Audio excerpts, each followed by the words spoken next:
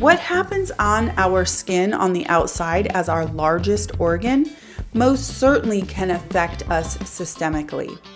So, when we're talking about products that may be able to address senescence in our skin, enter in the OneSkin team.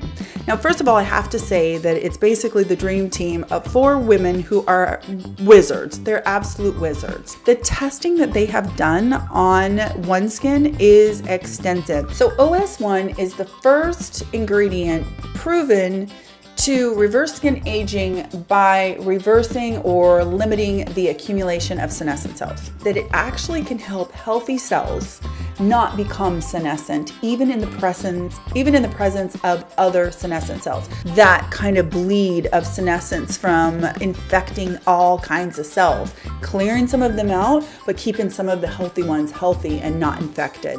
So it's really twofold in that way.